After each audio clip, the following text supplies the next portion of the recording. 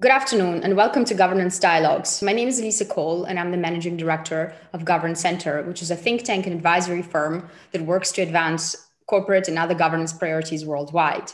And for those of you who have had a chance to tune into this uh, program, you would know that we discuss uh, hot topics in the world of corporate governance uh, in conversations with thought leaders, be they board members, regulators, uh, investors, and others. And in fact, in this uh, very episode, I thought to continue with the tradition of discussing issues related to ESG and to stewardship in particular um, in conversations with the representative of the International Corporate Governance Network, which is an umbrella organization that represents almost 55 uh, trillion dollars of assets of investors, be they pension funds, insurance companies, sovereign investors, and others um, that are located around the world.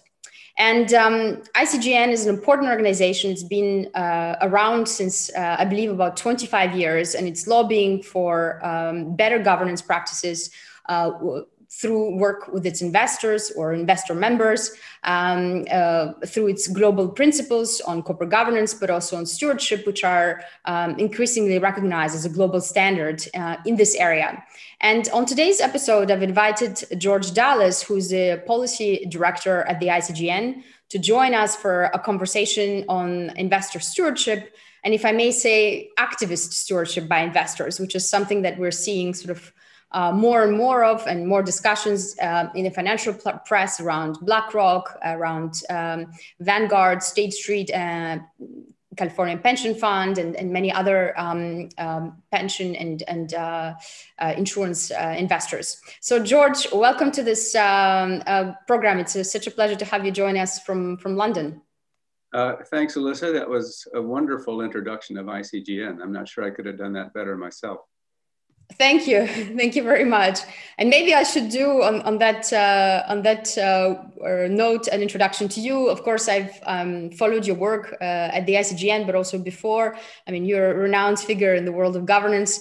Um, but for the purposes of our audience, just a few words perhaps on, on the work you do at the ICGN um, uh, that some might be already familiar with in terms of the guidance statements, the viewpoints, uh, some of the public comments that ICGN had been um, recently putting out on country specific priorities. I know that, for example, you've been involved in, in some, some work in Japan recently, but also on thematic sort of areas like uh, big tech, and we'll, we'll get to that in, in a couple of minutes.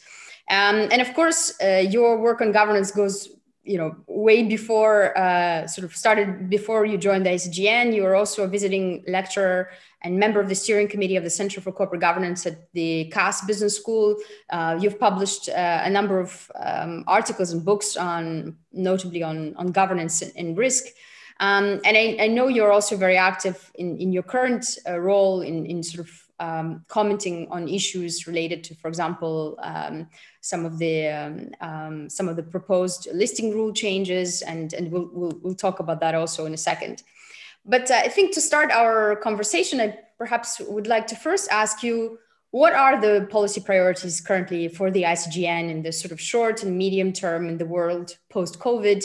Uh, and how might those priorities actually be different by region? Sort of, are they um, is there a common denominator in terms of what you're trying to achieve in Japan versus UK versus the US, for example?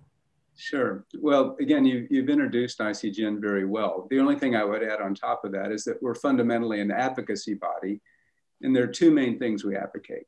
Uh, we started out in 1995 as a body to advocate good corporate governance in companies that institutional investors would invest in and we are an, a, a, an investor association, or we're, we have different types of members, but mostly they're institutional investors. So looking at just to in, improve the governance of the companies that investors invest in. But then the other key dimension, which is also part of our priorities, which I think we'll be discussing, is looking at the role of investors themselves and how they can do what they do responsibly, which we would call stewardship, but it is the what we think is the fiduciary duty of investors to, to, to do the right thing ultimately for their clients. So it's really this on these two cornerstones of corporate governance on the one hand, and then stewardship and responsible investment on the other, that we that's the foundation for our work. Um, and we we are a global body, which is a distinctive uh, distinctive element of ICGN. We have many of the key investor associations like Council of Institutional Investors or Asian Corporate Governance Association in our membership, but our, our purview is global. And as you suggest, I mean, the, we, we have various thematic issues that we look at, and we also look at, at, at issues uh, regionally and globally. Um, you asked about our policy priorities, and, and I would outline five of these. And I think that these pretty much would cut across jurisdictions uh, ge geographically. The first one is basically to try to encourage long-term investment perspectives and sustainable value creation. There's a lot of there's a lot packed into that phrase, uh, particularly the sustainability part, but also the long-term dimension because most of the 56, 54 trillion in assets under management that you refer to the vast majority of that is in uh, some form of pension or retirement savings where the, the, the certainly it's a long-term perspective, if not theoretically infinite. Um, so trying to instill that way of thinking in terms of how we look at investing. Uh, bringing second priority is making stewardship successful, making having investors do their job properly, but also working with companies to meet one another halfway and to try to promote the role of the investor as, as the responsible steward on behalf of beneficiaries. Um, the third key priority that we have, and again, this will cut across geographies, is just board effectiveness, particularly in, a, in an environment where the boundaries of corporate governance are changing rather substantially. Mm-hmm. There are issues on the horizon now that weren't on there 10 or 15 years ago, and particularly looking at environmental and social issues. And and, part of part of one of the great challenges that I think we're thinking about and focusing on is the governance of sustainability within companies. And then I'll mention two more, and then I'll uh, and then I'll uh, get let you ask me another question. But uh, but the other one, uh, the fourth of the five, is protecting minority shareholder rights, and whether this is dual class shares, which is a big issue, which we may be talking about later, or other types of rights that minority shareholders have to basically exert some degree of influence in the governance process. This is something important to us and that we want to protect and preserve. And then finally relates to, to information, particularly corporate reporting, both financial reporting in terms of its quality and rigor, but also sustainability reporting, because ultimately we need to try to blend uh, the two together to get a complete picture of companies. So those are all those are all thematics that I think will resonate pretty much around the world, and in different different parts of the world will have different specific issues re- relative to trends in ownership structures, whether it's hmm. state of market development, shareholder versus stakeholder biases, different governance models. So there there can be very uh, different models of governance that we also look at when we do uh, our regulatory engagements with uh, regulators and standard setters. That, that's interesting, and certainly I do. I do. Uh, I would like to come back to a number of uh, points you you raised on, on dual class shares and, and whatnot. But um, one thing that um, that jumps to mind, I mean, again, just bouncing from from recent uh, announcements in the press. For example, we've heard um, I think it was uh, yesterday or the day before, there was a, a, piece in the Financial Times talking about the new uh, CEO of Norges taking a different approach. Uh, and Norges, of course, is one of the largest institutional investors worldwide, if not the largest, sort of in terms of uh, ownership of equities worldwide. And basically saying that the new direction will be much more. Um, much less following the indices and much more um, sort of stock picking and really much more, I guess, uh, driven by company fundamentals and analysis and more engaged with individual companies.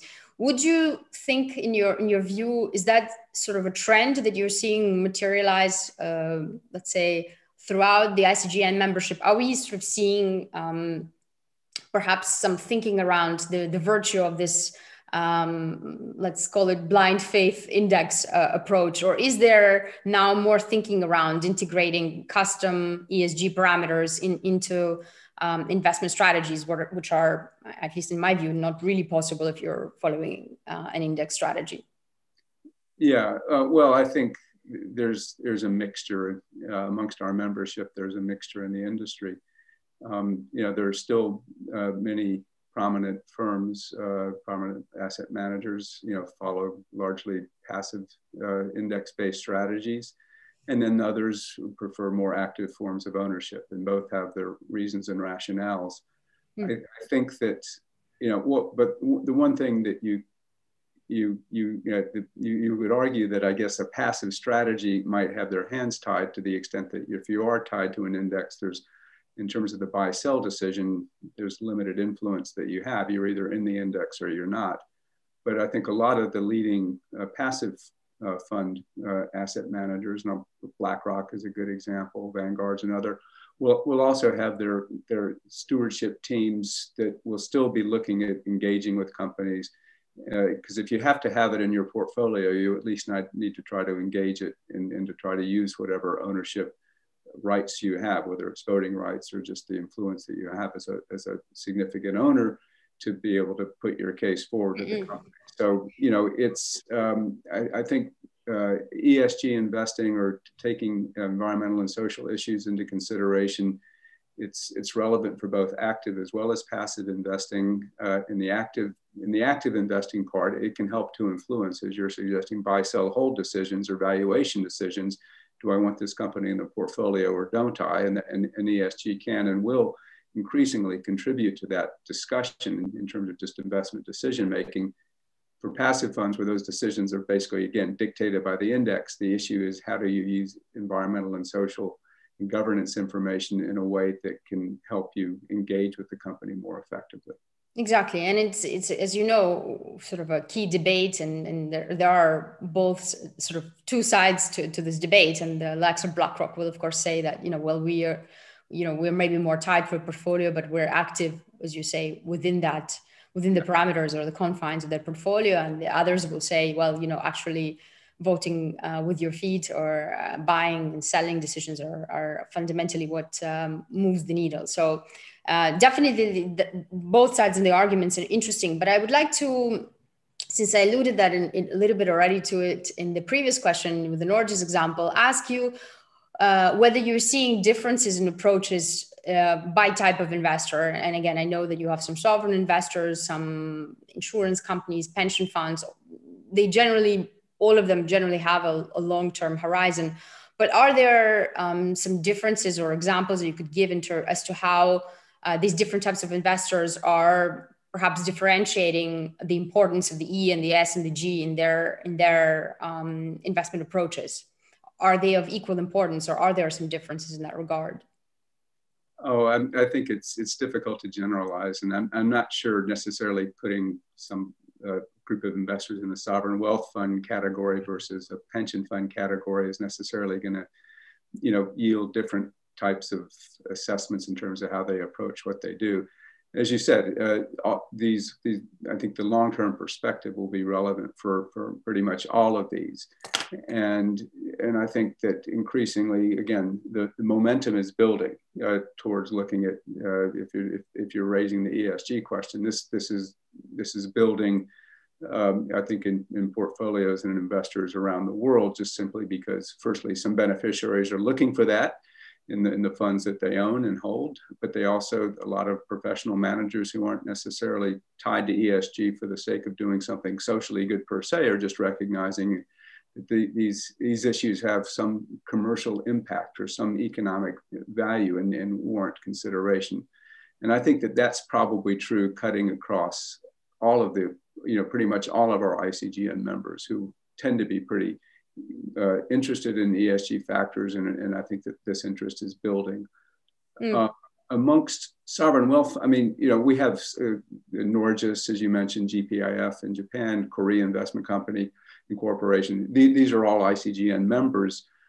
Uh, and they're probably uh, some, some of the more active ones within the sovereign wealth fund universe. Uh, I think some sovereign wealth funds maybe a bit, um, you know, whether shy is the right word or, or, reluctant to become too visible because sometimes their activities as investors, commercial investors might be, you know, misconstrued or, or associated with some sort of political agenda. So sometimes the sovereign wealth fund will be a bit cautious about cutting too strong a public profile in certain issues, lest it be confused with, you know, political issues or political agenda. But um, but I think that pretty much all of them are, are if, if the question is directed about how ESG is becoming part of the investment decision, I think that this is coming uh, increasingly under focus pretty much around the world. Hmm. No, I, I agree with you that that certainly there's a there's a different differences in approaches, notably as you mentioned around um, by sovereign investors in terms of how active they, they want to be, and of course that is also rooted fundamentally in, in some of the legacy uh, approaches by international organizations, um, notably the Santiago Principles, which were trying to sort of you know lay a, a careful framework for for all uh, sovereign fund investment um, kind of uh, investments at the time that they were written. And I think that it's, it's, it would be an interesting space to watch because many um, uh, sovereign funds and you know resource-rich economies have been making investments on the back of cheap valuations, and and I think at least in my personal reading, they're being more active also in terms of governance, maybe in less um, let's call them orthodox ways than some of your members, but it's I think it will be a, an, an, interesting uh, space to to watch going forward. But if I may ask you, sort of in terms of concrete actions, I mean, we, we've seen a number of uh, cases, again, over this year in, in the news, in particular, uh, Procter & Gamble and other companies where investors have uh, engaged quite actively and, and, voted against board members or, you know, um, around other, against other shareholder proposals.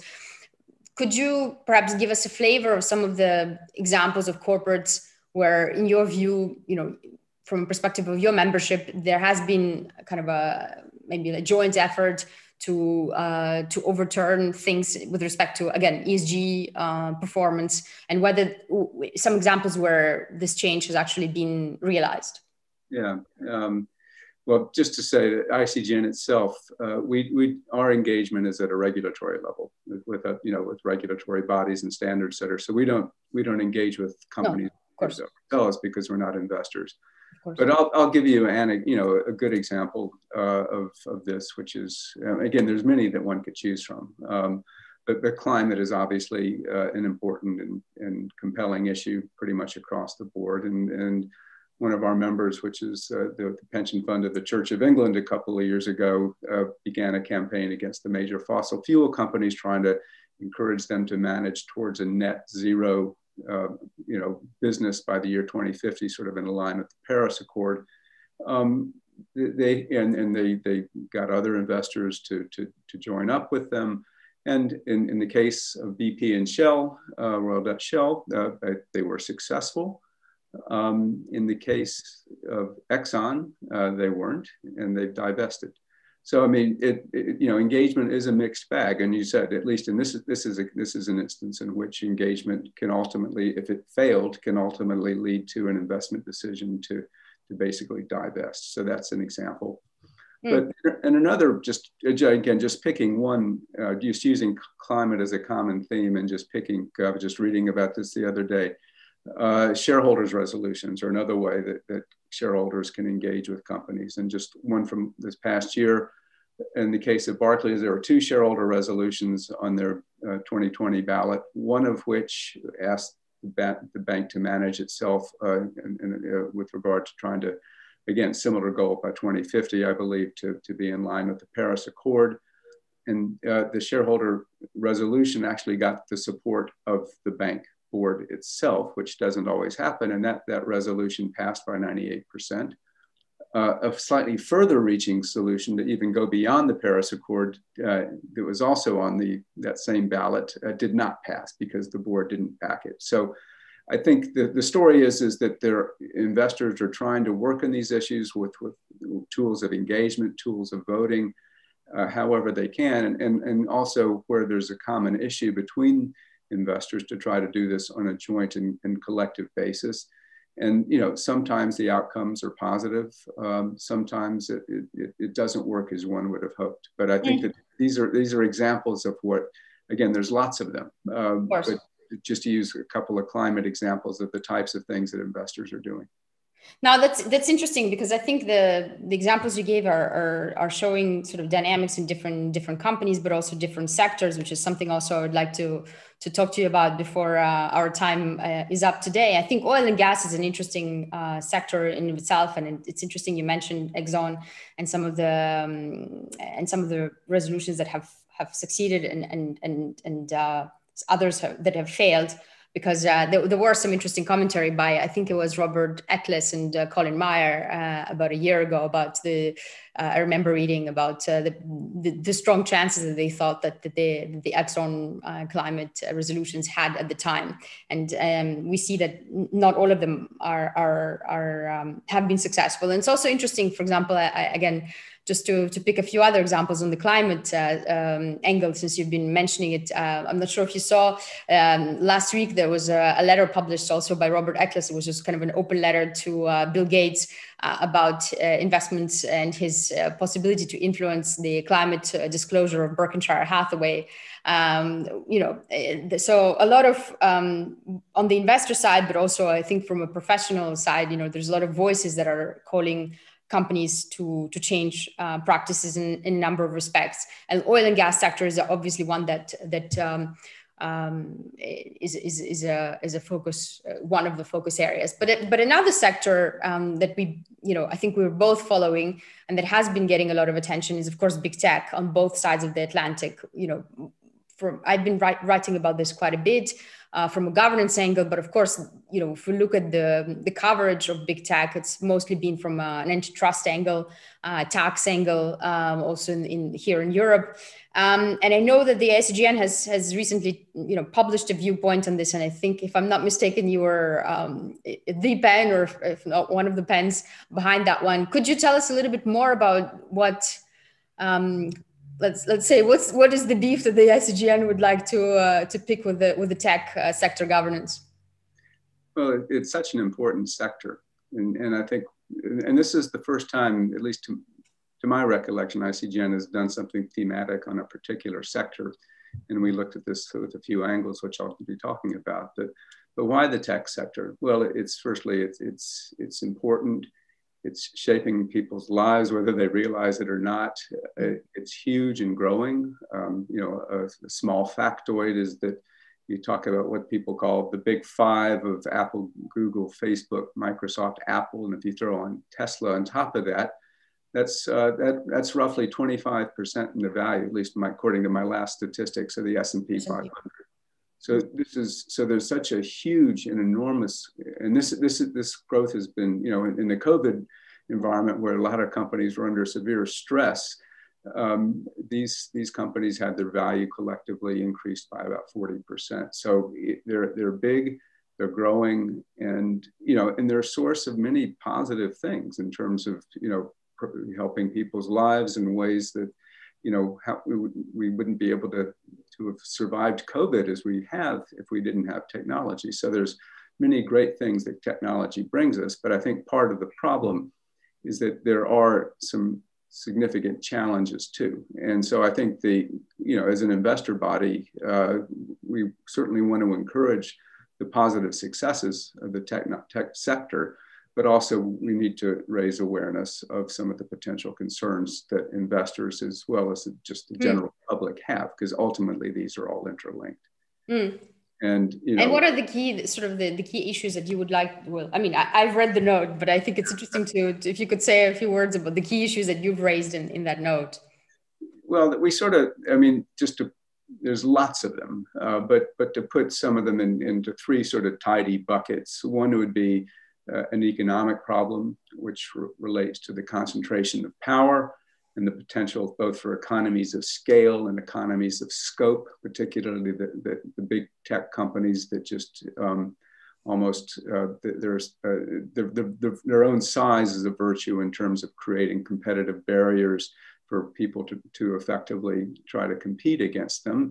And this, this may ultimately be a market failure question, and it's the type of issue that, that is certainly inviting regulatory scrutiny to the extent that the sector needs to be regulated or potentially even broken up in some shape or form. But this, this, this uh, economic concentration of power, but also just a market concentration of power, particularly in the big tech firms, which has potentially an effect of crowding out smaller competitors and, and enhancing the, the power uh, in a few very large companies. So that's the economic problem. Um, related uh, social problem exists in the sense that uh, what are the impact of technology? There's many positive impacts, but there's some dangers as well in terms of the impact of, of, its, of users of technology, which are all of us. Uh, there's certainly the privacy issues, and, and uh, with, they, they say in, in the space, if you if you don't pay for the service as a user of technology, you are the product yourself because you're effectively giving your data and information about yourself, wittingly or unwittingly, to, um, to these companies that can use this uh, in ways that can be applied to algorithms, which might help um, reinforce behaviors or distort behaviors or all sorts of potentially perverse social consequences, which ultimately is an invasion of privacy. And, and, you know, I think maybe even, you know, having other pretty profound impacts on, uh, on individual lives. And so that's, that's one issue. Uh, and then I guess the third uh, sort of group will be the governance issue. Again, we said economic problem, social problem, governance problem. The two pieces there, which I would highlight, would be firstly the, the need for the sector to think of itself as not just a technology company. These are not just technology companies, but they, they're much broader than that. And they need to understand and govern the sustainability issues that, that they're confronting, particularly the impacts on their stakeholders, and in particularly the users of, of tech companies and, and, ensuring that there's an appropriate sensitivity towards towards uh, customers and, and these any potential distortions um, are uh, overseen and hopefully uh, controlled by board and executive management to make sure that, that uh, the company isn't acting in a distorted way with regard to any of its stakeholders. Uh, and then finally, there's the issue of, of, ownership structure. This doesn't affect all of these companies, uh, but many of them has become a bit of a fad in the tech world to, to, to go public, to have uh, some form of dual class shares under the premise of protecting the company from the short term animal spirits of the, of the financial markets so that it can grow. And for some companies this is just a bit of a norm whether that's uh, whether that should be a norm or not is, is a subject of, of sharp debate. But uh, most in- institutional investors uh, think that dual class shares are not a good idea and ultimately lead to poor governance and, uh, and are not good for the company in the long run itself so to the extent that this is a feature of some of the leading uh, big tech companies if, you know, again, the economic problem was partly the concentration of power. If you have a dual class share, this even this reinforces that even further by just limiting the extent to which um, the company can have you know serious accountability to its shareholders if, if the shareholders voting power is somehow artificially constrained by dual class shares. So it's a bit of a, it can be a bit of a perfect storm. And so these are the issues that we're that we wanted to flag, and we, we wrote a, a, viewpoint report on this, which uh, I think hopefully you've read, and hopefully others will have a chance if they look at ICGN's website. And we have also had some webinars, and I think that this is going to be, you know, one sector we're going to be continuing to uh, explore very closely. Yes, I think I think from from our perspective, it's also a sector that I've been looking at closely and writing quite a bit about um, again, looking at, I mean, you've sort of outlined different problems and, and you put governance as, as a, if I if I understood you correctly, as pro- potentially a problem, uh, which it is. Uh, I, I, agree with you, but I think it's also perhaps potentially also a solution to some of these economic and social problems that yeah. uh, that you that you allude to. Uh, and I wonder also um, to what extent we need to look at tech companies as a sort of a different animal, you know, as, and I've, I've talked about this in previous uh, conversations on, on this program. You know, we know that banks, for example, are regulated from a governance perspective, from a capital adequacy perspective, from many other angles in different ways than if you're you know um, a shoe manufacturer so I, I, wonder you know to what extent are we living in a world where tech is now uh, by virtue of its size but virtue of its uh, impact on on cognitive processes on on whatnot uh, merits to be looked at uh, from at, at, least from our angle, from a governance angle, through a slightly different lens. You know, when we look at state-owned enterprises, for example, the ones that have um, certain social obligations, um, they are treated somewhat differently. Um, and of course, it's a different ownership dilemma. I mean, in the sense that they're not state companies, they're privately owned companies with their own, as you point out, complicated ownership structures and dual class shares. But but I wonder if there is um, a broader need for for real rethinking about the governance of, of big tech and um, perhaps that's something we can uh, discuss on, on, on the next episode of, of this program. Thank you so much, uh, George, for, for joining us and um, really appreciate your time. And for those of you who are tuning in for this program for the first time, uh, please do feel free to subscribe uh, on the button at the, at the lower part of the screen uh, and to uh, take part in our conversations, to suggest topics and engage with us um, on an ongoing basis. Thank you for your time.